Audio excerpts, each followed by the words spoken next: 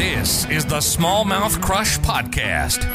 If you're a hardcore angler, you've come to the right place. This is a weekly podcast that will interview some of the top smallmouth bass anglers in North America. Travis and his guest will discuss what it takes to consistently catch big smallmouth, and you'll get a glimpse inside the mind of a trophy smallmouth angler. And now, here's your host of the Smallmouth Crush Podcast, Travis Manson. Hello, welcome to the Smallmouth Crush Podcast. My name is Travis Manson. Can you believe it? Another week talking smallmouth fishing. I love it. There's just something about big old smallmouth that gets me going. And I know a lot of viewers, as well as listeners here on the Smallmouth Crush YouTube channel, appreciate that. We have another Canadian uh, joining us this week. This guy catches fish all over, not only North America, but I, th- I think he's been around the world but he loves catching smallmouth. And so I'm really, really excited uh, to be talking with our next guest uh, coming up shortly. But before we go there, let's talk about the Reel Shot. Of course, the Reel Shot is becoming the number one tackle store for smallmouth crush fans. They carry everything. I mean, everything top brands, Megabass, Jackall, Evergreen, Z Man, Shimano, Daiwa, Omega, Keitech. I don't know. The list goes on and on. They got a bunch of tackle head on over to thereelshot.com and use my promo code smallmouthcrush15 and we're going to get you 15% off your first order. So very cool. We appreciate the Reel Shot's support of this podcast. And of course they have a bunch of gear. So uh, head on over there smallmouth crush 15 and get you some of that tackle. Without further ado jp what's going the on man the myth the legend how are you doing I'm doing great, dude. I mean, other than being locked down here in Canada, uh, mm-hmm. doing uh, doing real good. Uh, busy, so it's it's a busy time of year. This time of year, editing, delivering shows, new product coming out. Uh, you know, so if I'm going to be locked down, this is when I want to be locked down. Right, right. Totally get it. I mean, you know, I'm excited. We have a lot of what what is it with Canadians and smallmouth, man? You guys just know how to you guys know how to catch fish. Uh I'm excited to talk to you because I want to I want to feel you know your take on on smallmouth fishing. I know you chase a lot of different species, but I feel somewhere somewhere inside you, uh, JP's a, a love for for smallmouth bass. Can you talk to me a little bit about that as well? Give us just a quick background on yourself too. Sure. Uh, you know, I've been kind of obsessed with fishing as far back as I can remember. Uh, it's it's kind of funny. I tell this story a lot, but my dad always used to tell his friends when I was a kid, he said if I ever cracked my son's head open, he figures he'd find a fish swimming around in there. So it's been a passion of mine as long as I can remember. Um, smallmouth, I mean, if you're Canadian and you don't love smallmouth, you lose your Canadian citizenship. I think that's the rule. It's it's not really written anywhere, but mm-hmm. you have to love smallmouth if you're Canadian. But I'm also a diehard largemouth fisherman. I mean, getting down and dirty in the weeds and slop. So I've actually learned that I love all kinds of fish. Mm-hmm. I, I, have a, a, place in my heart for smallmouth, but I love all kinds of fish. So, uh, the backstory on me, uh, I was, you know, high school, played a lot of varsity football, track and field, very competitive growing up, soccer, played every sport you could imagine. And then when high school ended and I left university, I kind of had that longing to continue competition. That competitive side of me just wanted to keep going. And I found tournament fishing. So I kind of found it late in my life, not like some of these kids, you know, like the Johnson boys who I remember Lynn, their father, driving them to the ramp to fish against us when they were 10 years old or 12 years old. I started at 26 or 27 years old. I started tournament fishing, but I went in head first. Uh, 30 to 40 club tournaments a year, as many tournaments as I could put my hands on. And it filled that little void in my life for competition. And then uh, got pretty serious about it and WFN, the World Fishing Network, started. They were going to film our series. They interviewed all the guys fishing the Super Series back then. It was the uh, CRK Super Series. And it was the first hundred thousand dollar tournament ever in Canada on Lake Simcoe. So they were going to film the series. They interviewed all the guys fishing, and they said to me, "You know, you're a dead ringer on camera." And I was like, "Okay, I'm a caterer by trade. That's what I did for a living." And uh, I was an art major and a caterer. Hmm. So they said you're a dead ringer on camera. They offered me a sponsorship, wrapped my boat and truck, paid my entry fees, WFN, and then sent me to ICAST that summer to do interviews at ICAST. And I had mm-hmm. never been to ICAST. I had never been on camera, and it was wow. me and a camera guy. So I went down there and did a bunch of web videos for them. They watched them, called me in their office, and said, "Dude, you need a show like now." And that's how it all started. Wow. Right place, right time. Yeah, so many, yeah. so many endless hours on the water, so many endless hours behind a computer, editing, doing, putting out content. Uh, and, and yes, I agree. You're you're great at it. You definitely found your co- your calling. Uh, you know, speaking of, of northern Canadian fishing, these tournaments when you started fishing, uh, you know, growing up in your mid twenties and, and, later, yep. were they specifically in in Canada, or did you get to the states, or did you start traveling all over the the country chasing bass? It wasn't until I started fishing the TBF stuff that I started venturing into the states, where I did uh, Eastern Divisionals on Champlain a couple times. I did the Eastern Divisionals on um, Connecticut River, which I would never want to go back to again. Actually. I kind of liked it. I finished second there, so it was okay. but it's a tough fishery. Uh, and then I ended up at the Nationals in uh, Oklahoma at Grand Lake. So I started to stretch a bit there, but at the same time, I was filming my show. So Chautauqua was on my hit list all the time. And I mean, you want a better smallmouth lake in the spring. It was hard to beat back then, mm-hmm. Chautauqua or Erie. Mm. So I spent a lot of time down there and I grew up in Texas. So, but that was I was on the saltwater side, North Padre Island. So ah. I had my my spatterings of U.S. fishing throughout the years. Sure, I, I gotcha. As far as lakes that you like, just fell in love with when it comes to smallmouth fishing, could you name a handful that you really just have a, a place in your heart that you just you, you can't wait to get back to them every year, or or St. as often as you can? St. Clair. St. Clair is one of them. St. Clair for sure. Chautauqua's got a place in my heart because I filmed shows on it and I figured out that they live in two feet of water in the spring and I absolutely love sight fishing. Thousand Islands, so the St. Lawrence River, and obviously I live 20 minutes from Lake Simcoe. But for hmm. me, Simcoe's a love-hate relationship. It's really good at the end of June when the season opens until throughout July. But it can be the most fickle monster come August and into September. Really? It's not like any other fishery I've ever experienced. I mean, they're there, they're not there. They'll chase, they won't eat. They're just it's and then all of a sudden in the afternoon, if the sun's up, you'll get a bite window and you put 27 pounds in the boat. Oh. It's just it's just a it's a love hate with Simcoe for sure. So you hear all these stories, you know, massive weights coming from there. I just assumed you anybody rolls up in there and you're just cracking on them. No, no, no. I remember years ago we had a, uh, one of the national championships for the uh, for BASS was here for the uh, I guess the Fed Nation, and I had a buddy of mine from uh, Massachusetts, I believe it was, was coming here to fish. So I helped him out. I said I gave him a bunch of spots, and I called him after the first day, and I said, "How you do?" And he said, well, "I got 14 pounds." Hmm. I'm like, "Okay, that keeps you in it." And he goes, "No, man." He goes, "The leader from my state it has like 27 pounds or 26 pounds or some ridiculous number." And I said, "He has just as much chance to catch one pound tomorrow." Sure enough, next day, one pound. The guy who I gave the spots to weighed a consistent 14 to 17 and won his division. So it's that's it's that fickle. Ooh, no thanks. Yeah. That's yeah. scary, dude. I mean, you hear all these stories. So really, uh, when you're obviously uh, Canadian seasons open a lot later than they do in the states, uh, yeah. so you got to deal with that. But once you can get on there, there's a good window you say through July where you can consistently get on them. What happens? Do they are they are they just chasing bait offshore, or or why is it no. so hard? No, no, they're so the spawn happens. It starts in May up here, like it does in most northern states. Um, and we'll roll through. You can find them on beds in the middle of July sometimes. The the deeper beds, you know, the 14 to 18, 20 foot beds. Mm-hmm. Remember, Simcoe is kind of like Erie in the in the clarity sense, except it never gets blown out like Erie does. Never do you get uh, you know, the Cattaraugus and Silver Creek and all these mouths of these rivers blowing trees and mud into the lake. You don't get that on Simcoe. So it's clear outside of algae bloom. Mm-hmm. Um, so the fish do spawn deeper. The easy ones that are in under 10 feet of water are picked off right away. But once the spawn finishes, the post spawn thing becomes a craw chase in Simcoe. They start to actually uh, look around when we get the, the full moons and those craw start shedding their shells and everything else happens. I've I've seen it in days where the bottoms in six feet or four feet of water are crawling with crayfish, hmm. and there's just five and six pound smallmouth swimming everywhere. Wow. So uh, it's more of a shallow bite through July.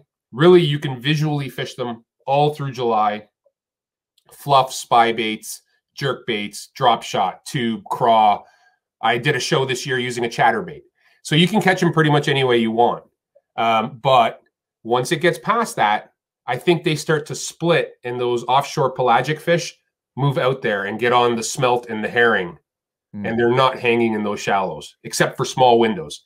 What's your favorite technique when when they do get up shallow? Uh, you mentioned one of your favorite ways to fish is is sight fishing and up shallow. I'm sure you know you're targeting cruisers. I, so I like to have a one-two, and it, it depends on the mood of the fish. Obviously, I want to have one moving that I can cover water and get a chance to see where they're at or if they're in the area. Once they're in them, it's a tough call. A 2.8 Jackall rhythm wave mm. on a one eighth ounce head to me is the one bait I can go anywhere in the world and catch fish on, and smallmouth are not exempt to that bait. I mean, the Ned is great, a turd is great, um, a drop shot is great. They all have their days, day in day out. If they're on uh, emeralds or smelt or anything like that, I'm going to use the more natural silver, blue colors or whites. If they're on gobies, I'm going green pumpkin, or we made a color made specifically called goby. So mm-hmm.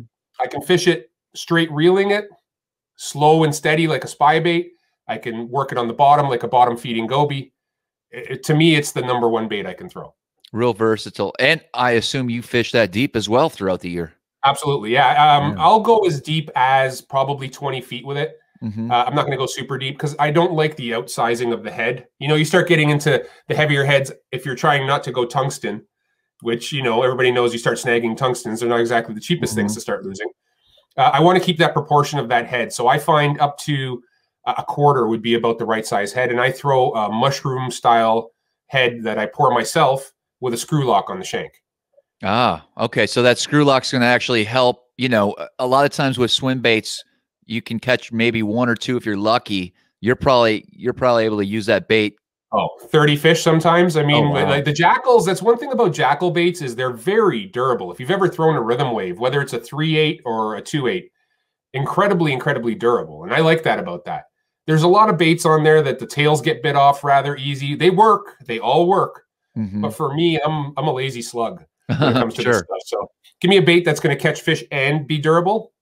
You got all my attention. Talk to me about when when you go to a new body of water that that you may not be familiar with, and you're trying to locate smallmouth. I know there's a lot of I guess situations you could have. You know, your shallow fish. There's, uh, in my opinion, a lot of these bodies of water that are just known for big smallmouth. There's always a shallow pattern. There's always a deep pattern. How do you approach that? Are you looking deep, or are you going to look shallow first? My problem with deep, Travis, more than anything, is the fact that you don't know what you're marking when you're deep. Mm-hmm. Could be sheephead, mm. could be carp, could right. be walleye, could be sturgeon on the St. Lawrence. You just don't know. So for me, I go shallow first because I'm going to let my eyes tell me a are they the right size or first if they're there and if they're there are they the ones I want to win a tournament on. Mm-hmm. And some days they're just the big ones aren't up shallow. And then I go from there. Then I'll go mid and then I'll go deep. Any body of water. Shallow is the first. If it's clear, it's the first place I go. Yeah, always shallow. What are you looking for when you go shallow? Because you can pull out a map, and I, I love asking this question The guys that are really, you know, specific with that shallow bite. Um, there's so much out there. You know, I'm just pick a lake, Lake Ontario, St. Lawrence River. There's there's a lot of shallow water to cover and not enough hours in the day. yeah. How do you what are you looking for? First thing I look for, any of the lakes up here, the northern lakes, is sand. That white sand is uh, you know everybody thinks rock when they think smallmouth. Mm-hmm. and yeah it's great to have rocks and it's great to have an isolated but if i can find an isolated boulder on sand or i can find a sand patch with weed around it i'm keying in on that. I mean they're they're easy to see. They're bright they're white they're turquoise blue in the st lawrence. I mean you know you've seen them. Mm-hmm. they're simple to see. Um, a lot of times i do a lot of video work so i put a drone up on areas ah. i mean ah. you want to find sand patches throw a drone in the air yeah. You'll find every single one of them in no time. So little tricks yeah. that I do is it's it's if I'm shallow, I'm looking for sand up here. That drone idea, but that gives you an aerial view, especially on a calm, sunny day. Maybe you yeah. shouldn't have said that. No! now we're now we're gonna have a bunch of drones up there. Yeah. Well, the thing is with the drones uh, is that you can face the camera straight down if you got the right one, and when you do that, you eliminate the need for polarization or anything because you're you're not getting that bounce of light off the surface anymore. So you can really I've seen white spots in 20 feet of water on a drone in the St. Lawrence. So I mm. know where the shell beds end and where the sand begins on those runs. That's gold out there. Yeah. Wow. What do you think your your your main strength is when it when it comes to smallmouth fishing? I think knowing if they're going to bite or not. I think my ability okay. to read their body language is probably my best strength uh, in in the sight fishing world. You know, just I could tell by their posture. It's almost like you know you you do this as much as I do, and there's the Johnsons are probably two of the best at it that I've ever seen. You know, I know the way that fish reacts, the way his pec fins move, the way his body language is whether he bends or bows or ignores. I know within four casts whether I'm going to even waste another minute on that fish. Mm-hmm. Right. Mm-hmm. So I think that's my biggest thing is I've learned after fishing so many years shallow just how to read the fish. I mean that's that's awesome because I know it can be so frustrating. I'm sure you run into this when when you got a six pounder down there. Three other fish that day bit like nothing. Yep. And then this guy just doesn't want nothing to do with you, but he's not leaving, right? do you have any tricks like let's say you really you had a, a giant okay and it was one of those fish where you know he sees you but he doesn't care. This is very common for those that don't fish you know way up north and in some of the great lakes. These fish oftentimes they don't just scoot away and you never see them again. You have visual on them for as long as you stay there but they won't bite. What are some things that you've tried in the past to get them to bite that you were successful with? Uh, one of the things I try to do is change the level of the bait. That's one of the first things. So, because it can be remarkably different between a turd on the bottom, a swim bait, or a drop shot that is, you know, this high, this mm-hmm. high, or this high. So, uh, the first thing I do is if they're not biting my, say, 2.8 rhythm wave, I'm going to throw a turd at them. If I can't get them on a turd, I might just go to, uh, you know, a drop shot and then see how the posture is. Then start to read the fish again, right? Mm-hmm. How is his body reacting to elevation changes in the bait. And once I figure out which one gets the most attention out of them, then I start picking through colors because there's always something. Some days right. you just, you know, if it's big enough and worth your energy, there's always something they're going to eat. So uh-huh. uh, levels and then colors for me. Where is the shallow bite like best at? Do you have a, a general region or area? It's really tough because the shallow bite is getting super educated. So, okay. Um, when you say shallow, we're talking six feet and under kind of thing, or eight feet and under. Yeah. Yep. It's really hard to beat the St. Lawrence mm-hmm. for that. I mean, it's it is the place has got hundreds of miles on both sides of the border of you know perfect sand patches and gravel strips and reed beds. So I think that would probably be the one place I think has the most consistent shallow bite. I mean, I've caught them. I was filming a walleye show November November 27th this year in St. Francis. Actually, William Clute, who you know was out there. Yeah. Uh, so Will was out there fishing, and I was on that Canadian side. And I said, after I caught like 60 walleye in the morning, and I said, you know, let's just go play around, see if we can get a smallmouth for the show. We mm-hmm. caught 12 smallmouth in four feet of water in 38 or 40 degree water. Right. November 27th. So sure. St. Lawrence is tough to beat for shallows. I agree. There's something. I, I think special. Wisconsin, right? I think other than that, Green Bay. From everything I've heard, I've never experienced it, but has got an incredible, incredible shallow bite as well. Yeah, I think you would. Uh, you would have a field day uh, on the Lake Michigan side, uh, especially up there uh, in Door County. You know, uh, Bay of Green Bay area. Of course, uh, Bay de Noc, uh, Upper Upper Peninsula. But I just got to imagine, you know, just looking at a map at, at the areas where you're from in, in Canadian waters, there's got to be so many inland lakes where this happens as well, I would assume. It, there is. Uh, I think it's a little different. Our inland fish are really mainly because our water's not the same color. And I think it might have to do with something with the build of the water.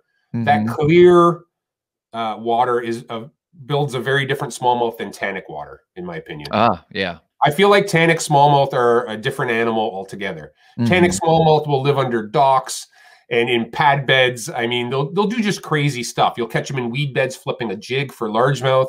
Mm-hmm. So I think for us, a lot of our inland lakes are more of that tannic because we've got uh, the granite base.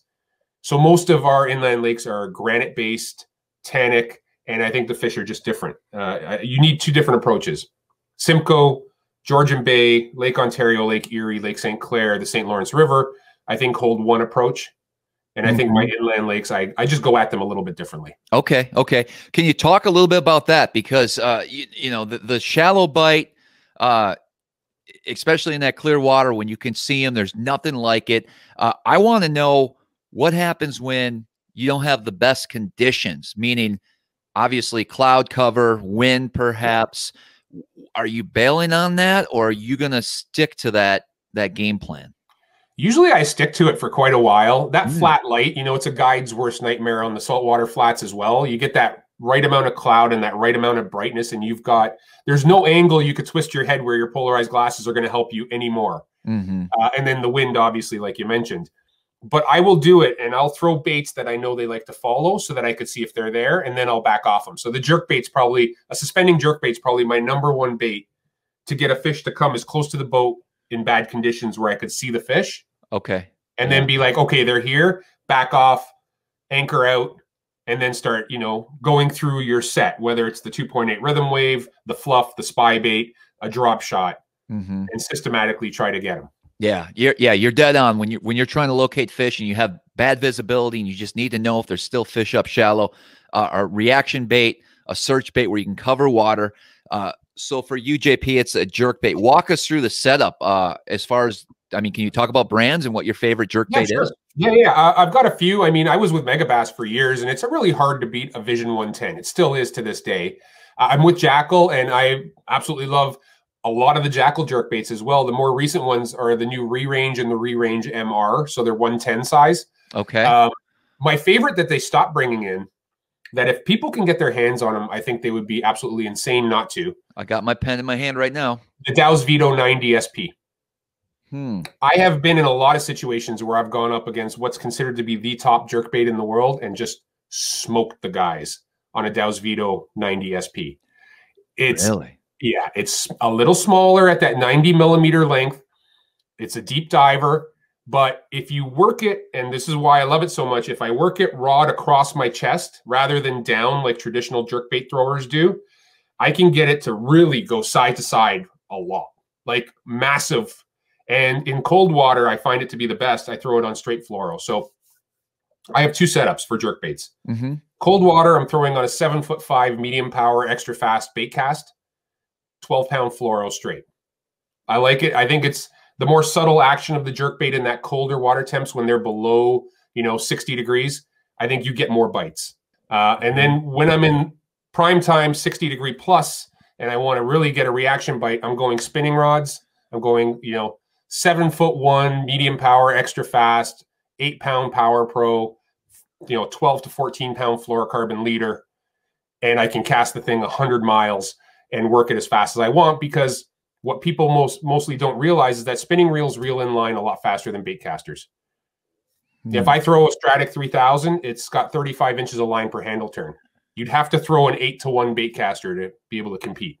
So the the braid, I assume the braid during during the warmer weather or, or you know warmer water temps is allowing yep. you to to make a make that bait just move a little bit quicker or uh, you have to work your arms or, less too, right? Like it's yeah. One thing about fluoro is, is, you have to put a lot of action. I'm snapping the rod when I'm working a jerk bait, especially that Dow's Vito with fluoro. I'm like it's like hook set after hook set. Mm-hmm. It's exhausting but it works. So I'm going to do it because it works. And I learned the fluoro trick from Kevin Short. I was down on Dardanelle with him doing a show on jerk baits. And it was actually the Dow's Vito was the bait I was using, which Kevin had a tournament that weekend and took all my Dow's Vitos out of my box uh-huh. for his uh-huh. tournament.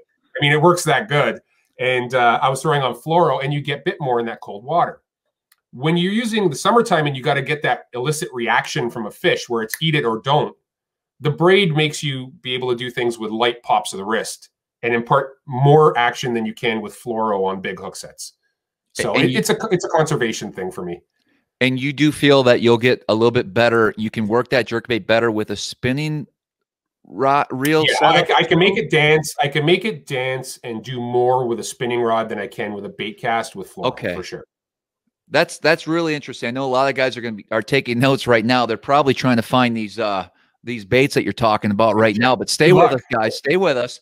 Um, I, I got to dig a little deeper. So let's say I want to get the perfect uh, spinning rod setup for this. Yep. The action you said was a medium extra medium fast? extra fast. Yep. And what size length do you recommend? For me, I'm six feet tall. I throw a seven foot one. Uh-huh. I mean, I find it works good. I know a lot of guys like to use six sixes or six eights.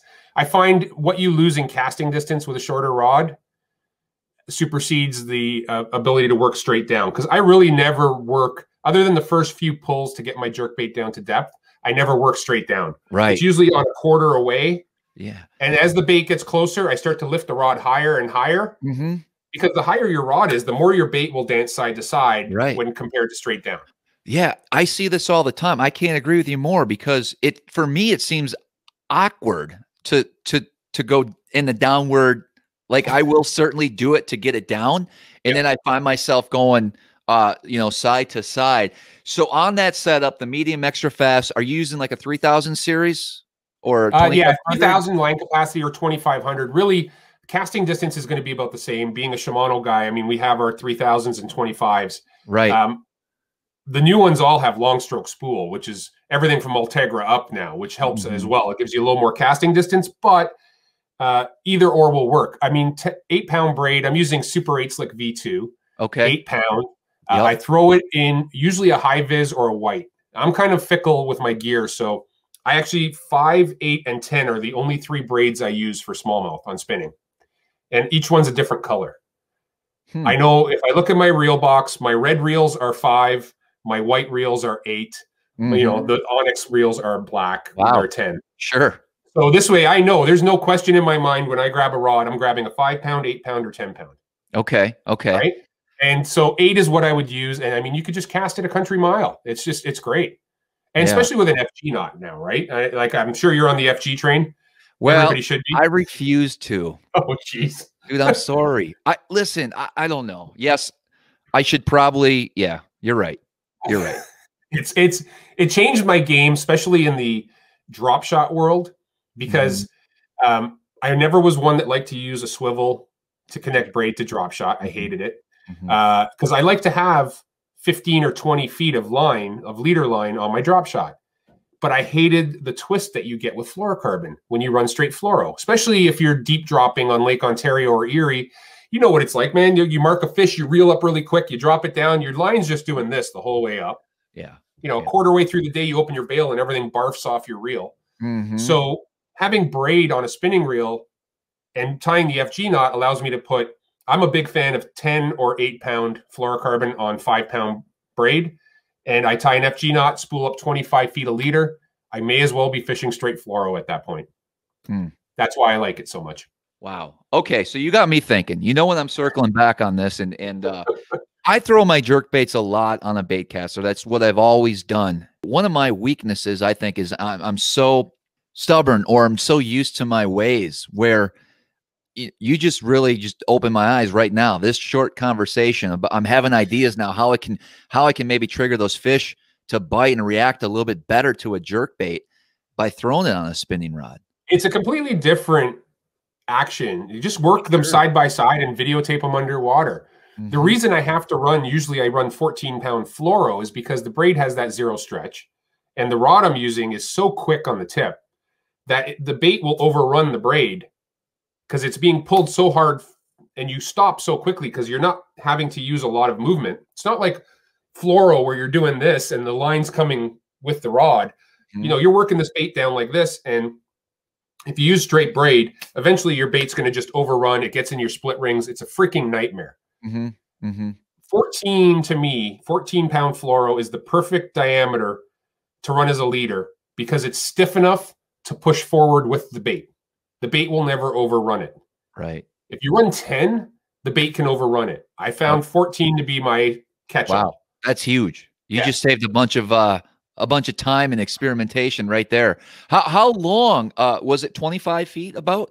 Is Well, that- no. So my drop shotting when I'm doing that is a 25 foot leader. But for jerk baiting, I usually run, I want the knot in between the stripper guide and the reel.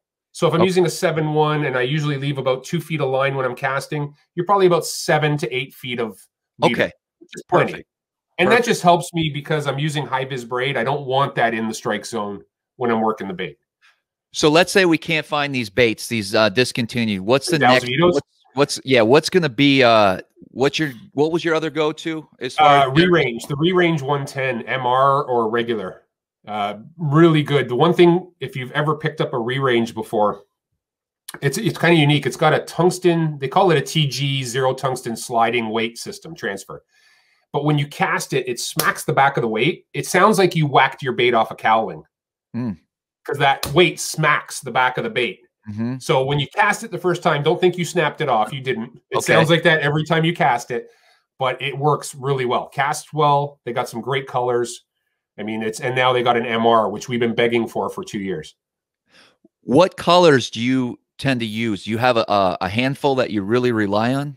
There's three. I'm not like super fussy about whether the tail has a bit of purple on it because I just don't okay. think the jerk bait makes that much of a difference. Uh-huh. I like to throw an albino bait, you know, so like a, a anything white. But I really, when I throw white, I like it when it's not shiny. I like that dull matte white. I think it shows up so much better underwater.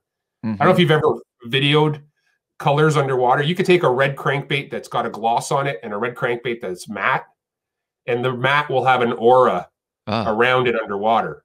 It'll show up that much better. So uh, a matte white, uh, whether you want to call it French pearl or just bone white or whatever it is, uh, I like to have one that is in that smelt pattern. Mm-hmm. Okay, so you know, blueback herring, whatever you want to call it, smelt pattern and then I want one that's perch pattern. Those are my three. I don't yep. think I need more than that to catch a fish on a jerk bait. Mm-hmm. If I do, they're smarter than I am. Yeah, good stuff. This is what we look for here on the uh, on the podcast, man. This was uh this is some really good stuff. I can't believe time's flying here. We, we got uh we, we got a few more minutes here for some questions. Uh JP, I, I guess I got to know a couple things. I always ask every guest on the show. First of all, I want to know what your biggest personal best smallmouth is, yep. and if you could give me a little story or bait that you caught it on? And real technical. Uh, biggest one is seven seven. I have seven fish over seven that I've caught between uh-huh. Simcoe and uh, Erie.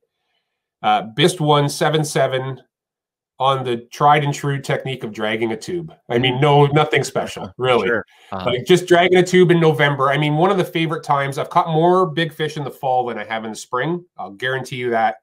I think the fall time, when you get to November and the water temps on Erie get below 47, between 43 and 47, I think is prime time to catch a giant. Yeah. Like yeah. we weighed, this is, we're talking, I got to go back to when, what boat I was running. I think 2008. 2008, uh, we were weighing 28 pounds on Erie in the fall, hmm. which really wasn't happening all that often. I mean, really was not happening all that often back then. So uh, I remember that day that I caught the seven seven. Uh, I got I got beat for big fish with a 721 in a tournament by my buddy with a seven four. And the next week, I went to the same tournament. It was uh, they were called the Fro- uh, Frostbite Fall Tournament. Simon Frost used to run these tournaments. Uh-huh. And and uh, I went out the next week uh, and caught. We put 142 fish in the boat that day in the tournament. 90 were over five pounds. 90 of them. Like it was, you could catch them on a jigging spoon. Like you mark them, drop a jigging spoon. It was one hop, they'd eat it. Uh-huh. You throw a tube out, you'd catch a five pounder. It was yep. just the most ridiculous thing I ever seen. And then I finished it with a seven seven. So, dang, yeah, dude, that's a stud. That's yeah. a stud. All right, I had one more question, but I got to circle back again because you just you just hit another topic that I want to learn a little bit more about jigging spoons. So, yeah. I'm assuming I, I don't want to assume. Uh, maybe you do use them all all year long, but colder water temps. I prefer a blade bait like a silver buddy. I have a hard time throwing a spoon. I just I've never got it going. What what what am I missing? You're probably not working it hard enough. Uh-huh. I mean, really, uh, the more aggressive you are with a jigging spoon, the more bites you will get. And yes, it's a cold water thing. Same as the blade. Mm-hmm. I feel like the blade takes over though, where the jigging spoon stops. I think when it gets below a certain temperature, the blade is better than a jigging spoon. Okay. And I believe that, you know, from that 55 to 47 world or 45 world, the jigging spoon can be just absolutely lights out. Gotcha. Now, uh, jigging spoons, I mean, they're all, they all work. I've thrown BPS tungsten spoons. Uh, my favorite's still a crippled herring. It's still okay. a tough one to beat. Uh, Hopkins makes yeah. a great spoon. Like everybody throws a Hopkins. So I'm not really super fussy about the type of spoon. It's more my setup and how I work it. Okay. Uh, I like to throw it on I used to throw it on a 610. I switched now to a seven foot one. Same kind of rod I use with my uh, jerk baits, except bait casting. So seven one medium power, extra fast. I run 14 pound fluoro on a bait caster.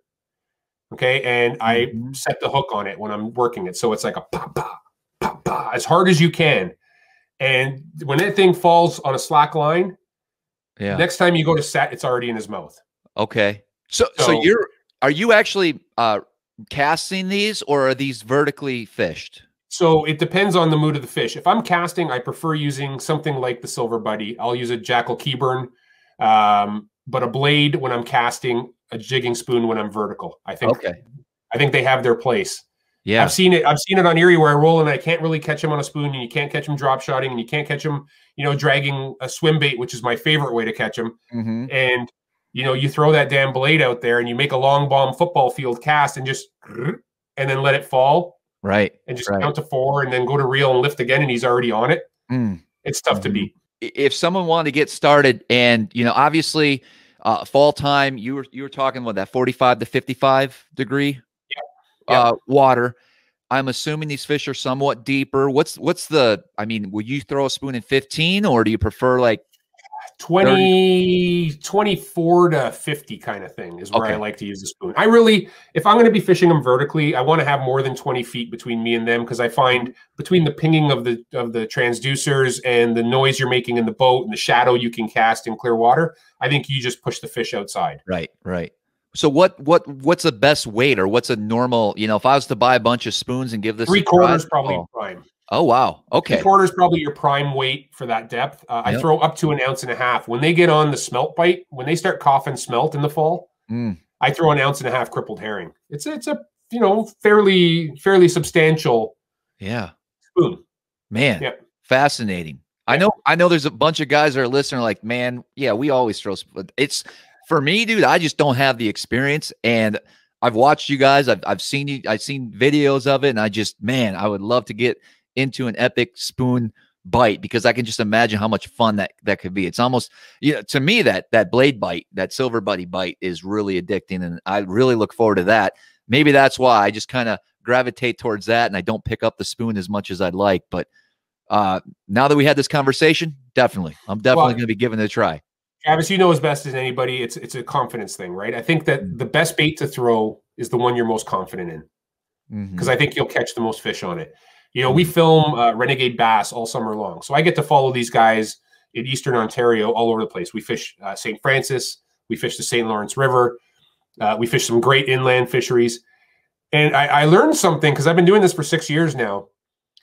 That every guy I film tells me that he can only catch them in this depth of water on this bait on this color Yeah. but I will film 20 different boats who are catching them in 20 different depths on 20 different baits on 20 different colors. The Mhm. best bait is the one you're most confident in. I guarantee you. Good advice. That leads me to my next question. I, I'm going to give you one choice for the, for this coming season, and it's uh, it's a bait. It's one bait you can use for the whole year to catch smallmouth. What are you tying on? Rhythm wave. Really? You're in. You're sold on that. No, no, no. I'm I'm I can tell you right now because I film shows for a living, and if I ever can't get a fish to eat, that's the bait I tie on. Wow. I, I throw two sizes only. I throw the Okay. two eight and the three eight. When I'm deeper than 20, I throw the three eight. I love throwing that thing on. I don't know if you've tried the Freedom Football Head. I'm not even sponsored by the guys, but I'm telling you, this thing is it was a game changer for me. Freedom Football Head is like an interchangeable hook football head. Yep. They come in a half and a three quarter. And what I did was, and this is a trick that if anybody's writing stuff down, you're going to want this one. Mm-hmm. I was taking a VMC spinnerbait four aught hook, straight shank, okay, black nickel, and I would take a hitchhiker, thread it onto the hook, and then clasp the eye inside the eye of the hook so it would sit on the shank. So now you've got a screw lock on the shank of your hook. You twist that onto your football head. Then you take your 3.8 rhythm wave and screw it up the shank of the hook. And now you've got an articulated action. So if you're doing the stroll or you're just slow reeling or bumping, that swim bait can move at 0.9 mile an hour and just have that belly roll and that tail kick. And Mhm. yeah, so for the deep, it's really super tough to beat. Jeez. Now I got to spend some more money after this. wow. Good stuff, dude. Like, Yeah. I don't even know. I know we could talk for. Oh, dude, we could do this all day, yeah. dude. This is crazy. but yeah, we this this was awesome. Almost mind blowing. I know guys are really going to appreciate this. Uh, I'm excited, dude. I, I think this was uh, fascinating. It really was. You're just a wealth of information when it comes to fishing, dude. And uh, we, we're really happy to have you on. What are some ways that guys can uh, follow you throughout the year and, and uh, follow you on social media and kind of keep up with what you're doing? Uh, yeah, JP DeRose Outdoors on Instagram, all one word. Um, JP DeRose, obviously on Facebook. I do lives like once every couple weeks, probably, and I got a YouTube channel as well under JP DeRose. So they can do that's the best way. I'm usually trying to post goofy pics and do Mhm. videos. I'm, today I'm going to be uploading a video on the new Ultegra and doing a complete like mash down breakthrough walkthrough of that reel, so guys can see what the new features are and how it differs from the last one. So those are the easy ways to kind of keep up. And then Waypoint TV, uh, season seven of Breaking Boundaries just started airing yesterday. So Awesome. if you if you're a fisherman and you don't have Waypoint TV, which is completely free, completely, uh, it's full HD on demand. Just go to waypointtv.com. You can you don't even have to sign up. wow. Yeah, hunting and fishing as much as you want to watch of it. Dude, I didn't even know that. It is Right. phenomenal, dude. It is it is like it was the the the godsend. I feel like broadcast TV is kind of petering out Sure. Because the consumer takes things in differently these days. It's not nobody has time to sit down and set a PVR and for eight o'clock and this and that. Now everybody's like, oh, I got a couple minutes. Let me grab it on my phone. Mhm. You know, let me watch it on my phone. Let me watch it on my laptop. Let me Chromecast it. Let me AirDrop it or AirPlay it. That's what guys are doing now. right. So Waypoint's available on Android as an app, on iOS as an app, on your computer, on a smart TV. Yep. I mean, if you got a newer Samsung, I believe they have something called Samsung TV Plus that it has a channel on. Hmm. So that was where we kind of, laid our hat. So that's streaming as well. If you want to see something cool, Travis, go there. Uh, I think it's season five. I there's a French River show that I did in Ontario on Georgian Bay. Ah, You want to see the dumbest smallmouth you have ever seen in your life? No, I have a buddy. I'm very fortunate to have a buddy who guided up there growing up. mm, And you have to run rapids and stuff to get from the upper French to the lower down the Bad River. And he does it in a 17 foot Lund with a 115 tiller. And dude, we're running, you see, I have drone footage. I put the drone up as we're running through the rapids, and there's literally a foot on each side of solid granite sure. walls that Yeah. you're cutting through. But every fish that came to the boat had a buddy, and Uh-huh. you could catch the buddy. So we had a like a, a natural triple between two guys where uh, he hooked he hooked a big one. I had one on. He hooked one. I boat flipped mine. No, he got his in the boat. I was still fighting mine.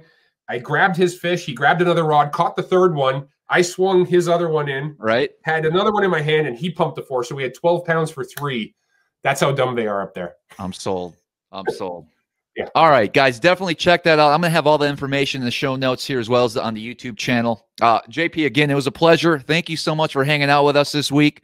And My uh, man, you're welcome back anytime. I appreciate it. Sounds good. Awesome. Awesome. All right, guys, thank you very much. And as always, until next time, we'll see you on the water. Thanks so much for listening today. Make sure that you're subscribed to the show and follow us on Instagram. It's Smallmouth Crush. Also, the YouTube channel, Smallmouth Crush. And if you feel so inclined, please leave us a five star rating and comment with a review below. And as always, until next time, we'll see you on the water.